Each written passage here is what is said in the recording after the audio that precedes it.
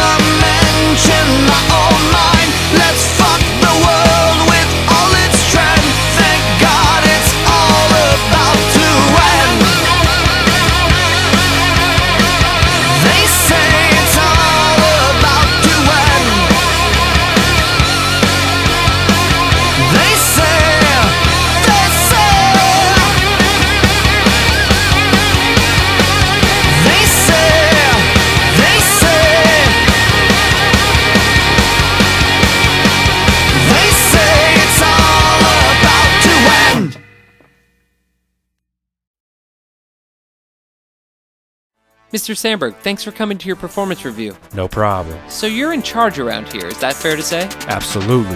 I'm the boss. Okay, so take us through a day in the life of the boss.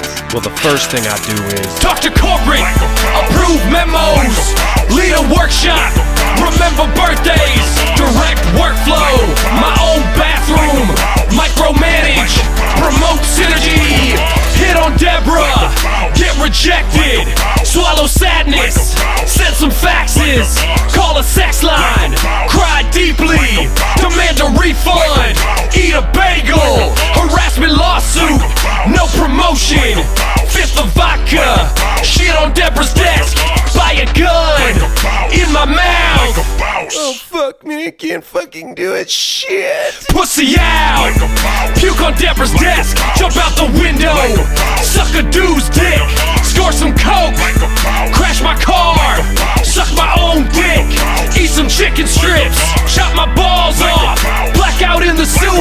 meet a giant fish, fuck his brains out, turn into a jet, bomb the Russians, crash into the sun, now I'm dead. Uh huh.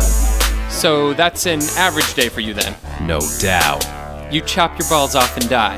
Hell yeah. And I think at uh, one point there you said something about sucking your own dick. Nope.